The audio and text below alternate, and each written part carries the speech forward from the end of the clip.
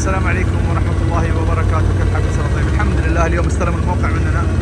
آه نزل الدكاكة في قاعد فالحمد لله يا ربي لك الحمد. وأنا إن شاء الله بإذن الله ببدأ هنا آه القطعة الثانية وبرفعها على فوق.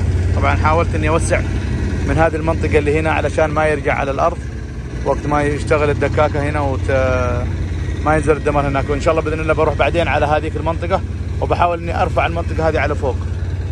فنقول يا ميسر إن شاء الله. هذه الأرض طبعا.